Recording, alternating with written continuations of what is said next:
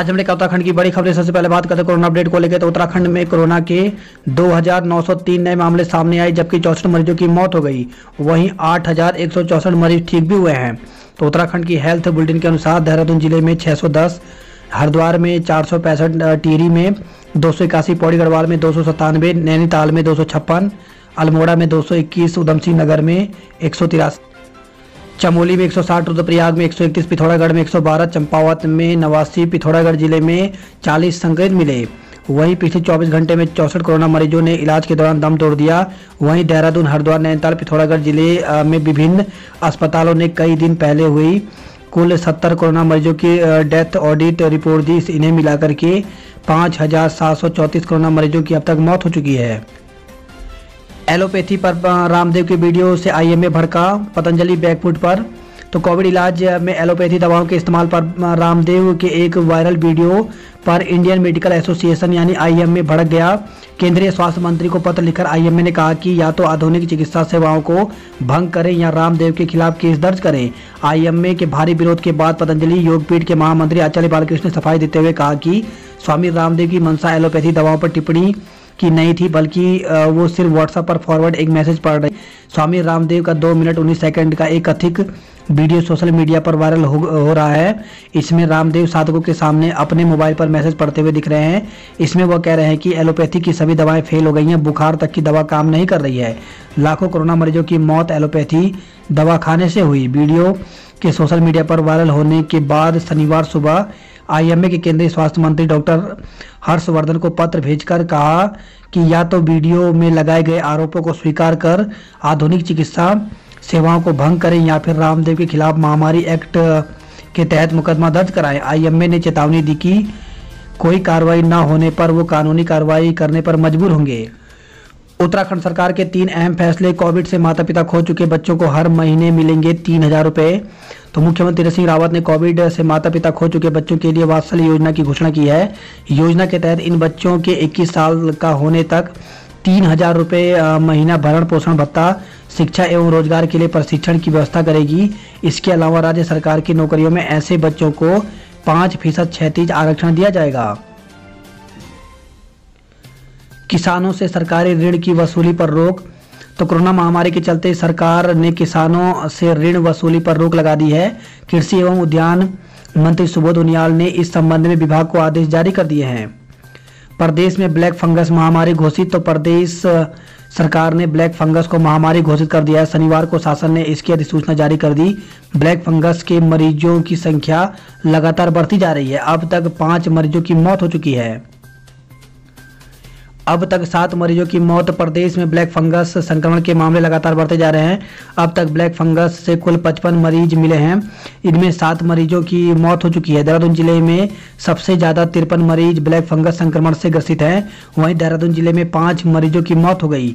नैनीताल और उधमसिंह नगर में एक एक मरीज़ की मौत हुई। शनिवार को देहरादून ज़िले में पाँच मरीजों में ब्लैक फंगस की पुष्टि हुई, जबकि छह संदिग्ध मरीज़ हैं। एक मरीज़ की मौत हुई है। छोटी आंत तक पहुँचा ब्लैक फंगस, स्टॉइड न लेने वाले भी संक्रमित तो कोरोना महामारी से उबर रहे लोगों को अब ब्लैक फंगस परेशान कर रहा है, आँख, नाक और सिर के अलावा ब्लैक फंगस का असर छोटी आंत तक हो रहा है। डॉक्टरों ने कहा कि स्टॉइड न लेने वालों को भी यह संक्रमण हो सकता है। पहले कहा जा रहा था कि ज़्यादा स्टॉइड लेने वाले ही इसके शिकार हो रहे हैं। दिल्ली के सर गंगाराम अस्पताल ने शनिवार को ब्लैक फंगस से पीड़ित दो दुर्लभ मरीजों के बारे में जानकारी दी। निचली अदालतों में एक से छह जून तक सिविल कार्य स्थगित रहेंगे। तो हाईकोर्ट ने राज्य की निचली अदालतों में कुछ स्थानों को छोड़ करके एक से छह जून तक सिविल कार्य स्थगित करने के आदेश दिए हैं। बारहवीं बोर्ड पर फैसला। आज प्रमुख विषयों की परीक्षाएँ संभव तो सीबीएसई समेत प्रदेश शिक्षा बोर्ड की बारहवीं व पेशेवर पाठ्यक्रमों की प्रवेश परीक्षाओं पर रविवार को फैसला हो सकता है। रक्षा मंत्री राजनाथ सिंह, केंद्र और राज्यों के उच्च स्तरीय बैठक की अध्यक्षता करेंगे। केंद्रीय शिक्षा मंत्री रमेश पोखरियाल निशंक ने राज्यों के शिक्षा सचिवों को पत्र लिखकर सुझाव मांगे। छात्रों, अभिभावकों, शिक्षाविदों व आम लोगों से भी इस पर सुझाव मांगे गए हैं। बच्चों में कोरोना के मामूली मगर इनसे फैल सकता है संक्रमण तो केंद्र सरकार ने लोगों को सावधान करते हुए कहा कि बच्चों में कोरोना वायरस के मामूली लक्षण मिल रहे हैं, मगर उनसे संक्रमण फैल सकता है। हालाँकि रात की बात यह है कि बच्चों कि संक्रमण के चलते होने वाली मौतें बहुत कम है। अस्पताल में भर्ती होने वाले मरीजों में तीन से चार प्रतिशत बच्चे होते हैं। श्रीनगर से खबर है घर की मरम्मत की गुहार लगा, जैसे ही लौटी मौत झपटी तो ग्राम प्रधान से आधे घंटे पहले जर्जर घर की मरम्मत करने की मांग करने गई बुज़ुर्ग महिला। लौटी तो उसी घर में वह ज़िंदा दफन हो गई। दरअसल बारिश की भीगी मकान की दीवारें धूप निकलने के बाद भरभरा कर गिर गई। घटना शनिवार अपराह्न करीब तीन बजे कीर्तिनगर तहसील के मलेथा गाँव की है। मलेथा गाँव में एक जर्जर मकान में ढहने से सत्तर वर्षीय रोशनी देवी की दबने से मौत हो गई।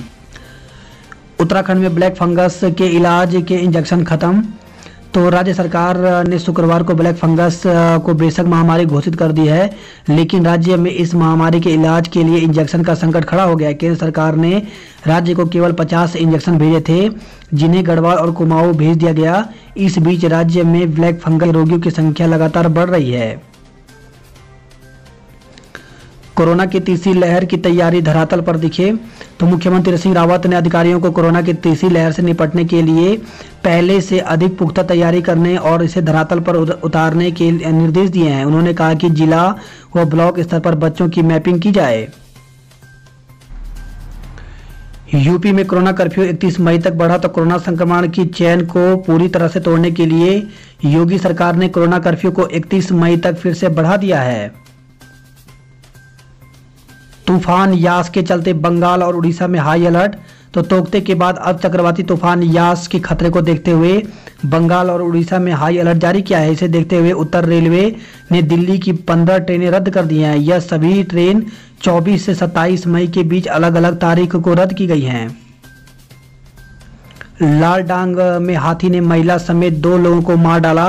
तो लाल डांग के नया गाँव में शनिवार शाम को महिला समेत दो लोगों को हाथी ने हमला कर दिया, अस्पताल ले जाते समय दोनों ने दम तोड़ दिया। सीएम के सलाहकार पर आपने उठाए सवाल। तो आम आदमी पार्टी ने रिटायर।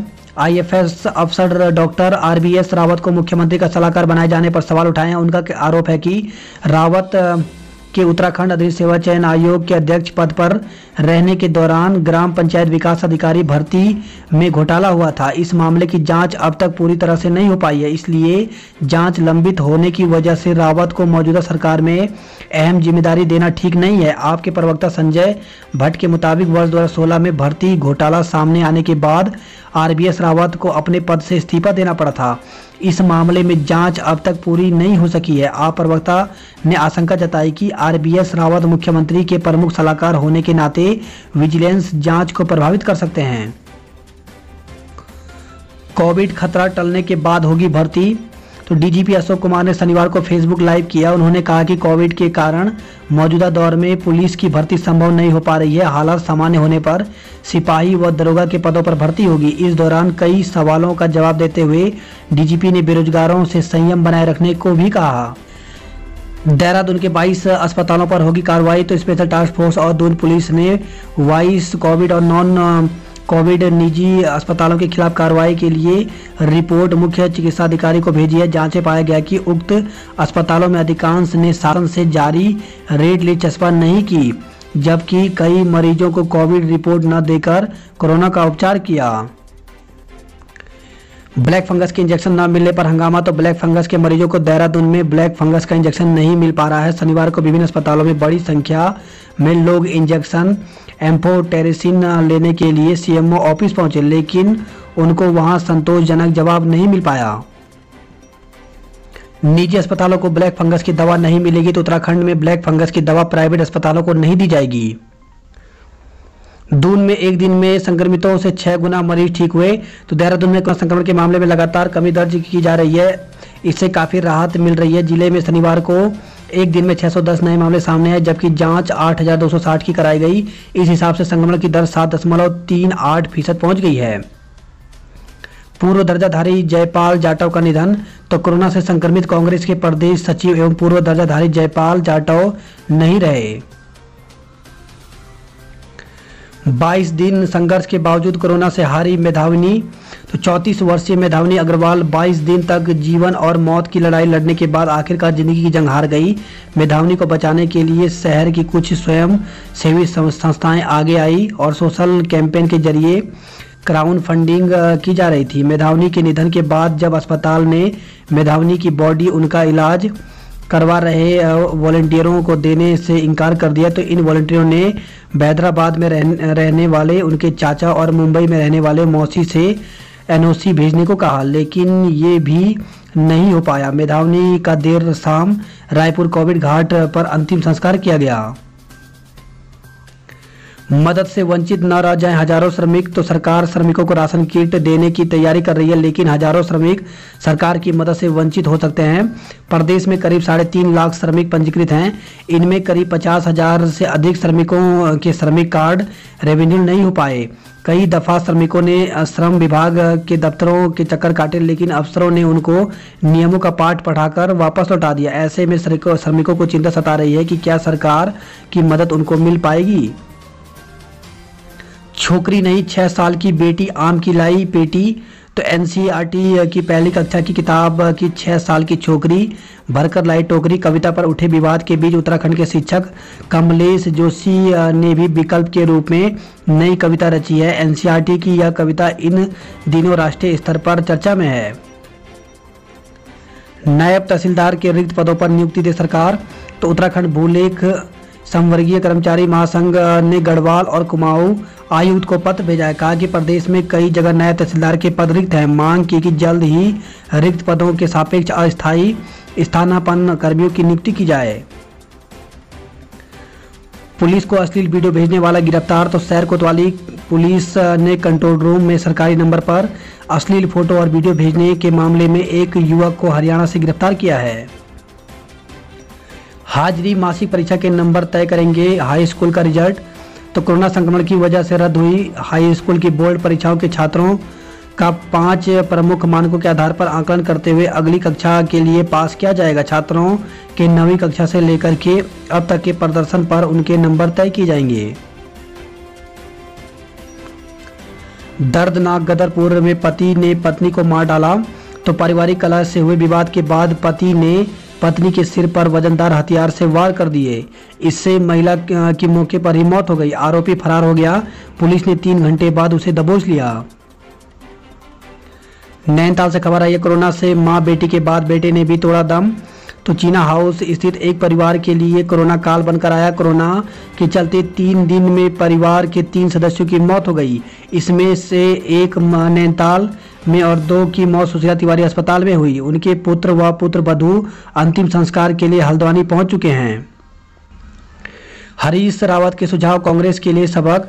तो भाजपा के प्रदेश अध्यक्ष मदन कौशिक ने कहा कि पूर्व सीएम और कांग्रेस के वरिष्ठ नेता हरीश रावत के सुझाव हमेशा सकारात्मक होते हैं, लेकिन उनकी नसीहत को कांग्रेस अमल नहीं लेती। कांग्रेस नेता रावत के सुझाव और उनके व्यक्तित्व से लगता है, वह हमेशा सकारात्मक राजनीति करते हैं। कांग्रेसियों को उनसे सीख लेनी चाहिए।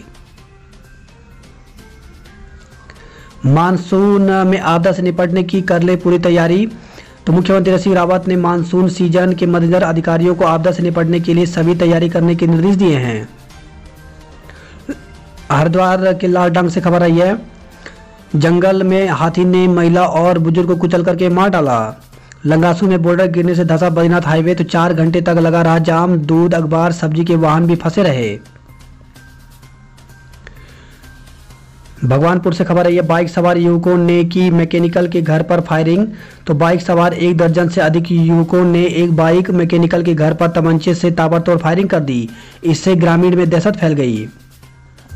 टनकपुर तवाघाट एनएच पर आया मलबा, वाहन फंसे तो टनकपुर तवाघाट एनएच पर चुपकोट बैंड के पास भारी मलबा आने से सड़कें बंद हो गई। सतपुलिस से खबर है ये महिला पर गुलदार ने किया हमला तो चौबट्टा खाल तहसील के पोखड़ा ब्लॉक के ग्राम सुंदरई के खेत में घास काट रही महिला पर गुलदार ने हमला कर घायल कर दिया। राजधानी दून में ब्लड बैंक पर मंडराने लगा खून का संकट तो कोरोना संक्रमण के बढ़ते प्रकोप के चलते ब्लड बैंक में नहीं हो रहा स्वैच्छिक रक्तदान। आज हरिद्वार से दून पहुंचेगा 20 यूनिट रक्त।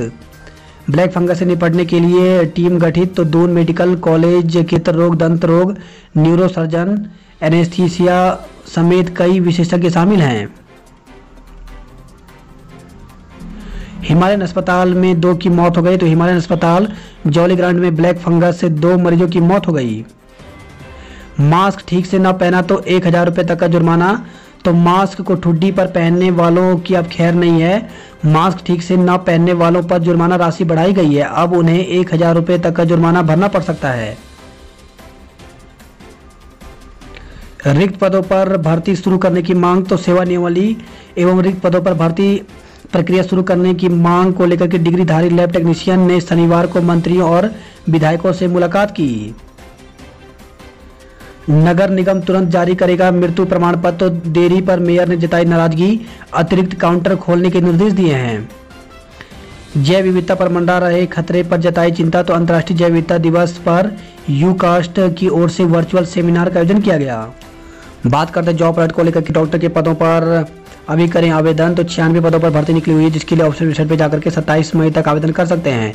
वहीं National Thermal Power Corporation Limited, NTPC में दो सौ अस्सी पदों पर भर्ती निकली हुई है, जिसके लिए 10 जून तक आवेदन कर सकते हैं।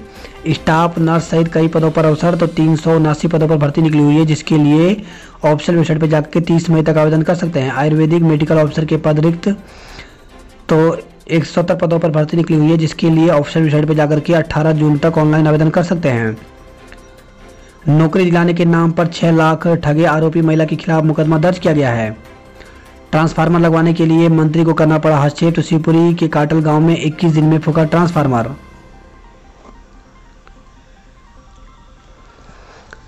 राष्ट्रीय गंगोत्री हाईवे पर चलती बाइक में लगी आग तो गंगोत्री हाईवे पर वीरपुर डुंगा के समीप श्रेणी में शनिवार को एक चलती बाइक में आग लग गई। बाइक सवार ने भागकर अपनी जान बचाई। यमुनोत्री हाईवे नहीं खुलने से कई गाँवों का संपर्क कट गया है। द्वितीय केदार भगवान मद महेश्वर की डोली वाहन से होते हुए राशि के लिए रवाना हो गई है। गढ़वाल से खबर आई है, छियानवे संक्रमित मिले और चार की मौत हो गई तो गढ़वाल के विभिन्न स्थानों पर की गई जाँच मरने वाले श्रीनगर व पौड़ी में भर्ती थे। बात करते हरिद्वार की खबरों की तो रेमडेसिविर के इंजेक्शन लगाने के खींच रहे फ़ोटो तो कोरोना काल में रेमडेसिविर इंजेक्शन की मारामारी के बाद अब औषधि विभाग की पहल पर अस्पताल मनमानी नहीं कर पाएँगे। भर्ती मरीजों को यदि रेमडेसिविर इंजेक्शन लगाया जाएगा तो उसकी फ़ोटो खींची जाएगी और उसको मरीज़ की फ़ाइल में लगानी होगी। कोरोना चार महीने में केवल 22 फ़ीसद वैक्सीनेशन तो जनपद में टीके की डोज नहीं होने पर एक सेंटरों पर लगे ताले। जंगल में हाथी ने महिला को, महिला और बुज़ुर्ग को कुचलकर मार डाला तो लैंस डाउन वन प्रभाग के लालडांग रेंज के जंगल के पास की घटना। वीडियो के साथ अब आवाज़ भी होगी रिकॉर्ड, सभी थानों और कोतवाली के कैमरों में लगाया जा रहा है वायस रिकॉर्डिंग सिस्टम। किसी को भूखा नहीं सोने देंगे रविंद्रपुरी तो गरीबों और जरूरतमंदों के लिए शुरू हुई अन्नपूर्णा सेवा।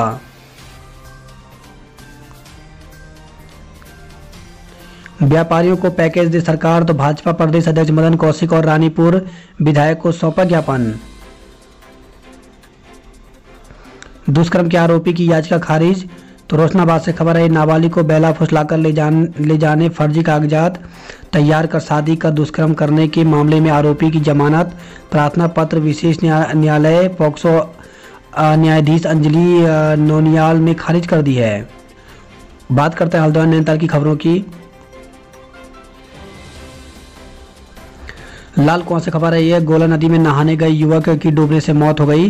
तो गोला नदी में नहाने आए छह युवकों में से एक की डूबने में डूबने से मौत हो गई। सभी युवक रुद्रपुर से यहाँ नहाने आए थे। वहीं खबर आई है, नैनीताल से मेडिकल स्टोर कर्मी पर झपटा तेंदुआ तो ग्राम सभा चौपड़ा की ग्राम रोपड़ा में शुक्रवार रात आठ बजे घर को लौट रहे बाइक सवार कमल सनवाल पर तेंदुए ने हमला कर दिया, जिससे वो घायल हो गए। हल्द्वानी से खबर है जज समेत तीन वकीलों की कोरोना ने ली जान। तो कोरोना संक्रमण के चलते एक जज और तीन अधिवक्ताओं की मौत हो चुकी है। थानाध्यक्ष ने टीम के साथ पीपी किट पहनकर वृद्धा का किया अंतिम संस्कार। सावधानी बरतिए कोविड कर्फ्यू में सक्रिय है साइबर ठग। तो कोविड कर्फ्यू में साइबर ठग सक्रिय है, सतर्कता बरतनी ज़रूरी है। प्राइवेट स्कूलों में पहले से होगी गर्मी की छुट्टियाँ तो पब्लिक स्कूल एसोसिएशन ने कहा इकतीस तक चलेंगी ऑनलाइन कक्षाएँ। बात करते कुमाऊं की खबरों की तो टनकपुर पिथौरागढ़ एनएच पर दूसरे दिन भी थमे रहे पहिए। तो टनकपुर पिथौरागढ़ राष्ट्रीय राजमार्ग पर लगातार दूसरे दिन शनिवार को भी पहिए थमे रहे। 18 घंटे बाद खुला टनकपुर तवाघाट एनएच। तबाही के निशान छोड़ गया शारदा का उफान तो कई मजदूरों के आशियाने जमी दोष हो गए। तीन डंपर और एक शक्तिमान ट्रक क्षतिग्रस्त हो गया। भारी बारिश से कैलाश मानसरोवर यात्रा मार्ग बंद हो गया है तो तीन दिन लगातार हुई बारिश के कारण दारमा घाटी में दर गाँव से दुमतू तक सड़क पर कई जगह बोल्डर आने से सड़क बंद हो गए हैं। जौलजीबी मुंशियारी सड़क पर खतरे की जद में आया वैली ब्रिज।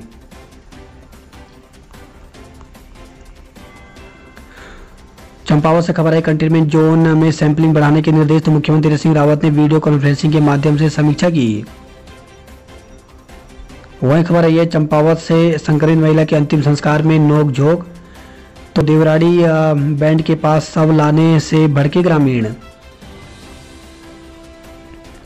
कल से प्रस्तावित रीटा साहिब का नामी जोड़ मेला अब नहीं होगा। वहीं खबर है, चंपावत से 20 महिलाओं का समूह कर रहा अदरक की खेती तो सहकारिता विभाग के सहयोग से स्वाला में लगाया जाएगा 60 क्विंटल अदरक। माँ पूर्णगिरी धाम में बीएसएनएल संचार सेवा ठप हो गई है।